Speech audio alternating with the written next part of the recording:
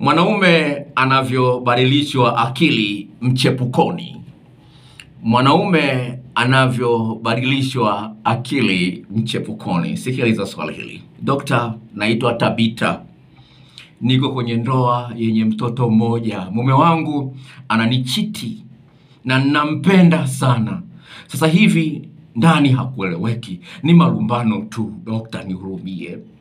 Tulikuwa tunaishi vizuri sana, lakini kuanzia alipoanza mahusiano na huyo mdada, matumizi halipi. Marafiki zangu wananishauri niende kwa mganga, mimi naona tu nimwachie Mungu, maana ndoa yangu ina miaka tisa. Nakte, nakte nisaidie. Unasikia kilio cha huyu dada? Ni kilio ambacho kinawagusa wanawake wengi sana.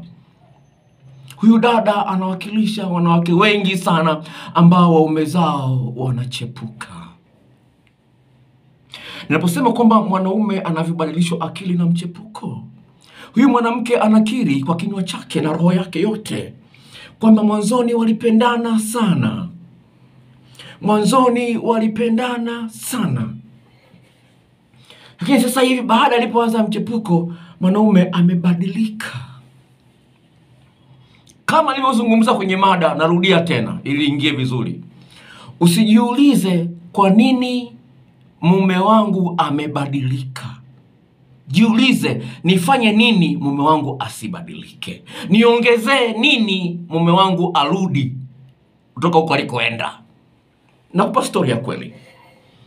Huyu dada kutoka Dar es Salaam, imepita kama miaka mitano toka nimewasiliana lakini nimeikumbuka hii story baada ya kusoma hii message. Asema mume wangu ni kibosile, akisafiri kwenda nchi za nje anatembea na mimi, kila anakoenda akipata ziara anayetembea na mimi, lakini siku hizi hiyo tabia ameacha. Alafu nilikuwa nimezoea akiwa kazini lazima tutawasiliana, hiyo tabia imepungua. Nikaamua niangalie jibu langu kwenye simu yake, nikakuta anachepuka.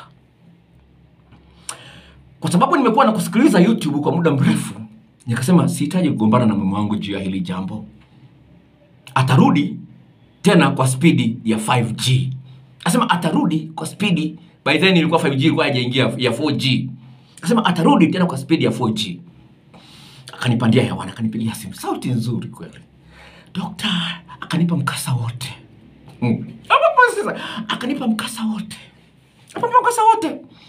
Nikamwambia huyu ni mwanaume wako wangapi? Akasema ni mwanaume wangu wa pili. Nikamwambia inaelekea kwenye tendo la ndoa, hujui jinsi ya kumnogesha mwanaume. Mwanaume katika mwili wake ana maeneo kumi na manne na kila eneo lina ufundi wake. Sasa kuna video ambazo nimezitangaza kwenye YouTube naziuza, video zaidi ya ishirini na saba na jarida moja la jinsi ya kumfanya mwanaume awe mpole kama bata. Sasa naomba unitumie email yako ya Gmail, nikutumie hizo video seti nzima na, na jarida nikamtumia. Baada ya wiki mbili ananitumia message WhatsApp, dokta, na mrejesho, subiri nikiwa free. Akana, baada ya masaa mawili hivi akanitumia uh, screenshot ya message za mume wake. Mume wake amemtumia message, sasa ile message akazipiga picha akanitumia mimi, naita screenshot, sawa. So, Anaambia angalia mwanaume mwenzio anavyosifia sasa hivi, angalia Sawa. Anaambia dokta, ile michepuko yake ikipiga simu mbele yangu, anaambia angalia, mpumbavu anapiga, hebu pokea simu hii. Anaambia angalia, mpumbavu huyo anapiga. Asema ile michepuko yake sasa hivi anaita mapumbavu. Yaani kwa story nyingine kutoka Burundi, huyo huyo naye amekuta kwenye YouTube. Mwanaume amewahi kurudi ni saa sita za usiku, nikamrushia hizo video na majarida mpaka watoto wanauliza, mbona siku hizi baba anawahi kurudi nyumbani? Mpaka watoto wanauliza. Sasa sisi wanaume tumeumbwa na hamu ya tendo la ndoa mara kumi na sita sawa, kumzidi mwanamke, zaidi ya mwanamke na hamu. Kwa hiyo hii hamu inatusumbua sana. Hasa ukiona mume wako anaishia goli moja, wewe unaona ili mradi amefika kileleni, unaona inatosha. Haitoshi. Mwanaume anayefika anayeishia goli moja hajamaliza hamu yake ya tendo la ndoa. Kwa kwenye sexology, elimu ya tendo la ndoa inaitwa sexology, tunaita hiyo sexual energy, yani nishati ya tendo la ndoa, kama vile betri. Eti betri, simu mpya. Betri imejaa asilimia mia, upigie simu upigie mtu mmoja, betri hiyo imeisha, haishi. Sasa wewe goli moja, mwanaume amesha goli moja, wewe unaona ah, Sasa basi yeye mwenyewe ameshindwa, basi hujui, utafuti mbinu za kumsaidia pia goli la pili, hujui, kwa sababu hujui. Sasa hawa wanawake ambao nimekupa nime, nime, nimekupa mifano yake, sawa sawa, nimewatumia mbinu hizo sasa kumsaidia mwanaume arudie goli la pili, la tatu au la nne. Haya, mchepukoni akifika anafanyiwa hayo mambo. Sasa wanaume wengi wanashangaa, anasema kwa mke wangu naishia goli moja, lakini akienda mchepukoni magoli matatu manne bila shida. Lingine ambalo hulijui wewe ni kwamba huyu mwanaume anajua kasoro zako zote. Kama una chupi nyeusi, anajua chupi, anapenda sana kuvaa chupi nyeusi. Sawa sawa.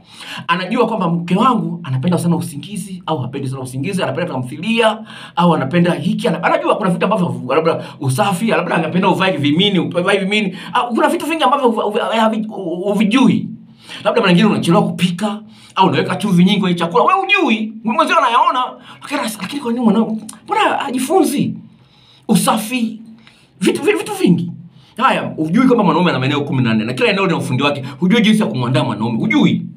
Hasa akienda kwenye mchepuko, mchepuko anahangaika sana. Sasa wewe kwenye mapenzi huonyeshi uchangamfu ya tendo la ndoa, huonyeshi mchangamfu, lakini akienda kwa mchepuko, uchangamfu mwingi. Hey baby, hey, kuja nikunyonye, kuja nikulambe hapa. Hey baby, kuja nikufinye finye makalio yanafinywa. Hey baby, kuja nikulambe macho, Ay, macho yanalamba. Ushalamba macho ya mke wako, ya mume wako unaona ni mapambo kaka ncha ya ulimi inaingizwa hapa kwenye hizi hapa inaingizwa hapa. Baby kwenye shingo. Au kuna na hema. Baby wewe. Yani ni yani nimekumisi. Wewe hujamwambia mume wako nimekumisi? Huyo hivi nimemisi dudu lako? Hey, baby nimemisi kweli baby. Hey, unabadilisha mkao. Sasa wewe unajua mkao mmoja tu. Kubadilisha mikao hujui. Wataka mwanaume ndo aanzishe mikao. Unaboa na Kwa hiyo akifika mchepukoni anakutana na ladha tofauti ya tendo la ndoa, kwani akili yake sibadiliki. Sasa Biblia inasema hivi, sio Biblia, sayansi. Kuna kitu kinaitwa brain plasticity, yani ubongo unaweza kubadilika kutokana na vitu unavyokutana navyo. Ndio unashangaa huyu mtu alikuwa ananipenda, lakini sasa hivi hakujali, matumizi hatoi, kila wanakuona wewe mzigo tu, alafu uondoke. Kuna mwingine huko ananiita baby, huku ame ana, analamba korodani wewe ushalamba korodani za mume wako, unasema ah, ni machafu.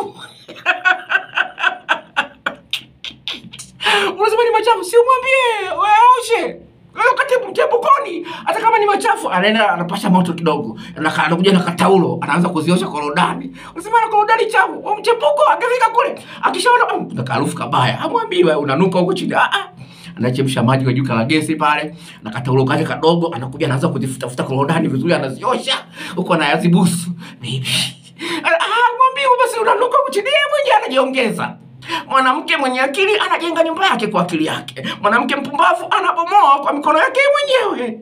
Sasa huyu mwanamke mwenye akili mchepuko anajua kutumia kataulo ka kuosha, anaosha vizuri, alafu analamba, kisha amaliza kuosha analamba lamba.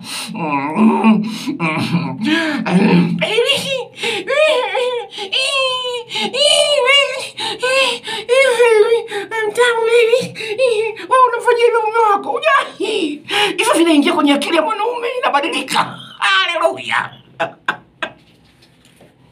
¡Ah, creía que era bonita! ¡Ahora es sí! ¡Baby! ¡Ah, hizo eso, baby! ¡Me hizo! ¡Eh!